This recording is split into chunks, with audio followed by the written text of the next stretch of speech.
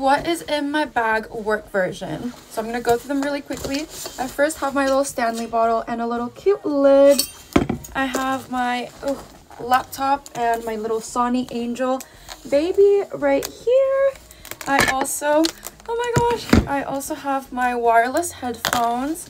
I have Bluetooth headphones. These are the Sony XM4, which I love so much. And also I have a bunch of napkins. I have, I always grab these when I go to a cafe. I have some like Pokemon card thingies, trash, and I don't even know what that is.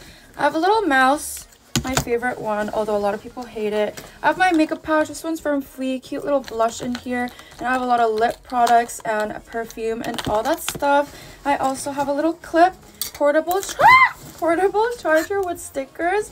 I have my wallet and I also finally have my USB